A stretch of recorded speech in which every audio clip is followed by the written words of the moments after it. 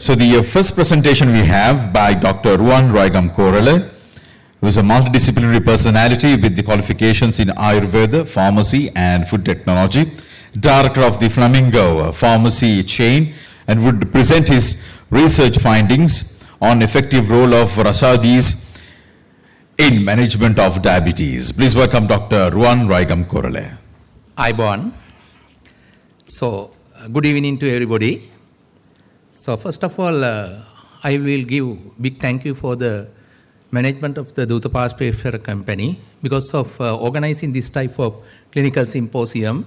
It is very valuable. So, it's a great uh, golden opportunity for me as a junior uh, doctor, uh, sharing my ideas as well as the experience with the uh, because of audience, I can see majority of the professors as well as the more senior doctors, some of the lecturers who have uh, who, are uh, taught me at uh, undergraduate level. So because of you, I will be here. So let me allow to introduce my topic. So a case series presentation of effectiveness of the Rasa Aushadha with the other Ayurvedic treatments in the management of Madhumeh diabetes. I will just take a few seconds for an introduction. So as per the WHO organization, so the it's common metabolic disorder. So clinically characterized by the elevated glucose level due to the absolute or relative insulin deficiency. So as you all know, insulin just like a key bind to the insulin receptors, then what has happened to the as receptor binding effect? Open the glucose channel, open the glucose channel. More and more glucose enters the cell, inside the cells, then cells utilize the glucose. So what's the result? Serum glucose level comes down, right? So in the absence of insulin, what has happened? Reverse the process. The reverse the process means in the absence of the insulin, this mechanism will not happen. So uh, elevation of the blood glucose level is known as the diabetes. In so if uncontrolled, it means the unsatisfactory sugar control. So it leads to many long-term complications. So these long-term complications are actually very serious uh, complications that may lead into the loss of quality of the patient loss of the uh, quality of life of the patient because of so uh, the complication from head to up to toe it means it will affect on the all over the body.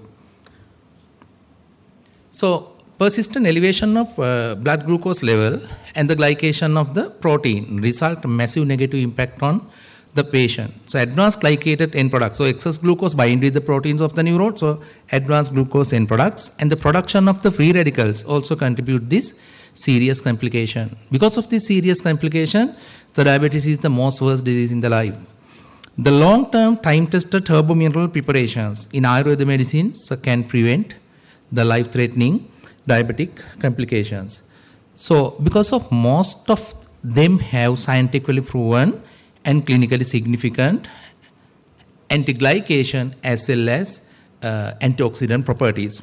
Just an example, if, if a patient, she or he, uh, like to control their blood glucose level by the herbal medicine, they will get the two uh, plus benefit advantages. The one is uh, because of their long-term use, uh, long-term usage, the herbal drugs having uh, less adversive ADR, adverse drug reaction profile when compared to the Western medicine, as well as the Western medicines, anti, uh, anti-diabetic medicine, just they control only glycemic uh, level only.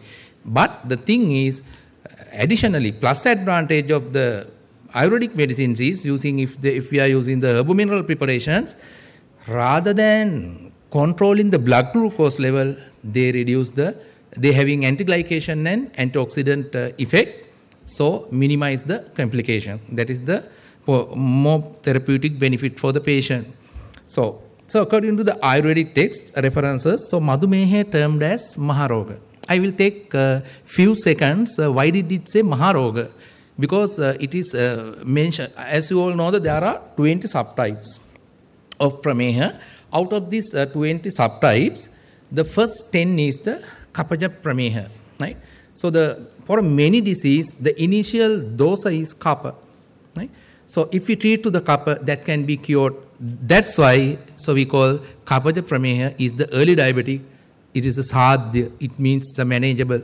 The, my personal experience is in case of pre-diabetic st- stage, if we can identify the patient and do the this standard treatment protocol, can reverse back to the normal. That is that's the main point. So the next stage is uh, the pitta prameha. The, there are six type of pitta prameha. But the thing is, these all three doshas are not affected at once. So one by one. So the after get kapha get affected, then the pitta dosha also get affected. There are two dosas. When we treat to the pitta prameha, what has happened? The medicines that used to reduce pitta, that will increase the kapha. So that is why it is called uh, palliative. Palliative means in our term is the yapya, right? So the when we comes to the madhumeha, that is the there are four vataja prameha, right? Madhumeha is the last one. When we comes to the madhumeha stage, all three doses are uh, get affected as well as the all three, all seven uh, dhatus also get affected. So that is uh, usually called uh, it is asadhya. Right? Asadhya means so very impossible to cure, right? Only manage. So the Madhumeha is one of the older disease in the world with history of thousand years ago. So historical documentary evidences are only available in Ayurvedic texts. Even for the Western uh, research, they also use the uh, in literature review Ayurvedic text references. So when continue the introduction, so contribution of uh, Ayurveda medicine for management of diabetes has been a long felt need. So there are 816 plants are identified as having anti-diabetic properties, but only 215 is available in Sri Lanka. So currently only 36 herbal plants have been scientifically proven hypoglycemic or anti-diabetic activity. So these herbal medicine process with the mineral or metal ions to get synergistic effect that plus multiple benefits. So the Rasa the herbal medicine saving, it's a great job in management of diabetes. So what is the aim of this study? Right. So to find out the effectiveness, uh, combine Ayurvedic uh, treatment regime with the Rasa Usha in the management of diabetes. So this is a case series presentation of 38 na- number of diabetic patients who attend to the diabetic clinic at District Ayurveda Hospital, Upper But the thing is, within very short period of time, as you all know, uh, that is very impossible to present the case series here. But therefore, only typical case I will present. The treatment protocol, what we have used as a methodology. The first clinical visit, so start the Amapachana treatment. The because of underlying root cause for the this uh, is the ama right? So we ad- we must address to the underlying root cause. The treatment choice depend on the type of bowel movement of the patient uh, individual patient. So the patient who had uh, either soft or bowel hard bowel movement so mrudu the Kura were treated with this specific decoctions respectively. So as an example the patient with the Kura Costa so Pipali Mulama decoction was given also used uh, some other adjuvant medicines like Rambana Vati, Bhuktapaka Vati, then the Navaratna Kalka, Vipattikara, Bhaskara Lavana uh, as a uh, supportive medicines. For patients with Mudukost, decoction called the Tippili, Tippili Mul and Belimul was given. The rest of all the other medicines are same as used in the first week. So at the end of the second week, the Virechana has been done because Amapachana and Virechana both are Shodhana Karma many more virechana is very useful to manage the patient's glycemic control. So therapy done with the decoction called the Triudraksha. So patient's glycemic control level is measured and recorded while on the Western medicine treatment because we never stop uh, Western medicine at once because still we are at the Shodhana stage. So third week, so Sodhana treatment was started as follows. So decoction Vasa Guduchi with the Chandra Prabhavati and the Gokshuravati with king coconut water on empty stomach for use. If somebody may ask, uh, there may be a questionable and the debatable thing is the why did you use uh, king coconut water for a management of, for a diabetic patient? So uh, shall we discuss even in uh, panel discussion? So fourth week, because that is a pramatya yoga. When the Chandrapavati is used with the king coconut water that is uh, eliminate uh, uh, blockages of the microvascular circulation. So when it comes to the fourth week, the Panchamuli Lagudraksha decoction use with the same adjuvant medicines. The, as by my uh, personal clinical experience in the last 12 years, I feel that the most important decoction for the uh, management of diabetic is Panchamuli Lagu Draksha.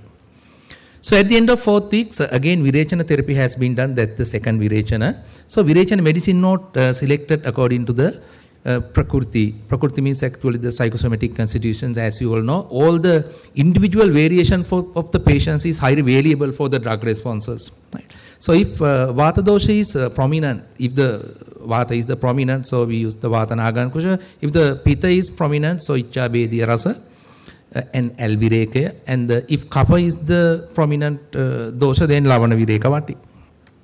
So fifth and sixth week, the following medicines were mainly used to control the glycemic level. Now only we comes to the uh, 5 and 6 week uh, Shamana Chikitsa. So decoction mainly used Nishatripal and Lipakadali. So choice was depend on the symptoms polyuria. So rasa mainly used the Vasanta Kusumakara rasa and the Somanatha rasa. The thing is uh, when uh, when there is a Vasanta Kusukama rasa is we I usually prescribe the Dhootapapeshwar one because of in Sri Lankan context uh, the quality control means actually the quantity and cost but in developed countries that is the quality and care. Whatever the company that will considers the their uh, products regarding the quality and care that will be prescribed because as a physicians we need to get the uh, much more therapeutic uh, result oriented benefit to the patient so when uh, blood glucose level control the patient were uh, advised to control the blood reports uh, to physician in order to adjust their uh, dosage form. So at seventh week, the patients were advised to get hospitalized for 18 days in outpatient management. So for six days, so breakdown of the 18 days is as follows. So advised for a glutathione. So two types of medicated ghee was uh, given for six consecutive days. So either Nisha triple or the Panchamuli gluta was used. So started from smaller dose and uh, gradually increase up to the maximum dose. When we comes to the after having finished the medicated ghee glutathione so second phase uh, for uh, three consecutive days patients were treated with the oily steam bath so snigdha then comes to the seda so internal oilation plus then external oilation with the steam. So at the end of the oily steam bath series the virechana third one therapy castor oil 60 ml plus uh, fresh milk 60 ml so third phase for uh, nine days yoga was the treatment was used as you all know the from the Panchakarma Chikitsa, the Vasti is the greatest one. Because of, since Madhumeha is a Vataja, majority of Madhumeha patient having Vataja problem. So just like uh, Apana Vata Vikurti, it means a kidney problem because of diabetic nephropathy. Uh, if we treat to the uh, Vasti is a very, very important as my experience. So at 10th week, uh, Tarpana treatment was started following Tarpana formula was used, Aranahansa Rasayana, then Prameha Gajakeshwari. So on discharge, advised to review in the clinic, so once in a month with the relevant prescribed investigations. So all the patients educated regarding the dietary modifications and the lifestyle uh, changes because it's a lifestyle related disorder. Uh, with the patient oriented hospital based community awareness program. So we, we usually once in every three months so closely monitor the other relevant comorbidities such as uh, dyslipidemia and the hypertension, which should be within specific uh, references range to prevent the macrovascular complications such as uh, MI and the stroke. The thing is, the very important thing is the macrovascular complications are not are only respond to the glycemic control, whereas the microvascular complications are irrespective to the glycemic control. So Western medicine, there are they have no any uh, options to control these uh, complications. This is the summary uh, treatment protocol at glance. So I won't take because because of the matter time. So this is assessment criteria. Total control means less than 130. Patients are categorized into the four categories. So significantly control means uh, those who in between the 130 to 170. So unable to control means actually the treatment failure. So less than 170 milligram those who are not able to reduce at least uh, below 170 means they are over 180 you know beyond the renal threshold so lots to follow up also. This is the case study typical one.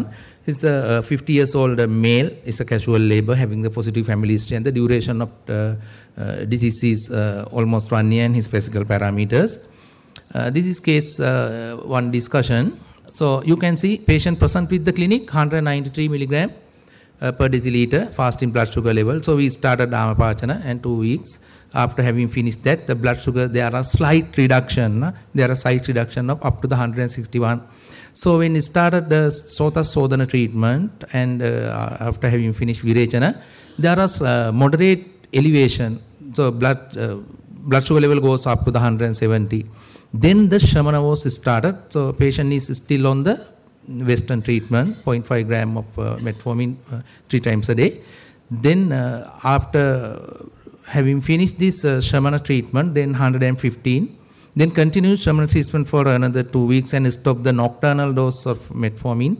Then blood sugar level comes up to the 101, um, 1101 because the thing is uh, when patient on admission for the blood sugar level is 101, so we stop the Western treatment and started uh, Panchakarma Chikitsa.